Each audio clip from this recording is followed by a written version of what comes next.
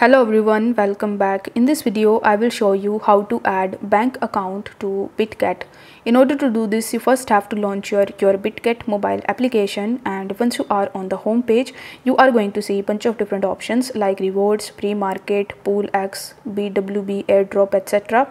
Right next to it, you are going to see this more tab. So if you tap on more, you will be landed on this more services page. Here you need to select the option of P2P and once you are in this P2P section, you will have to tap on these three dots in the top right hand corner of the screen. Then you need to tap on payment methods and after that you need to tap on add in the bottom. Then you will be able to see the list of payment methods that you can add in your bitget account. So in the payment list you just have to select your bank account after selecting your bank account, you will have to provide your banking details like your name in your bank, your bank account name, your bank account number, IFSC code, SWIFT code, etc. So you will have to give those information and then you just have to add your bank in BitGet. So if the video was helpful, then don't forget to like the video and subscribe to the channel. Thank you so much for watching.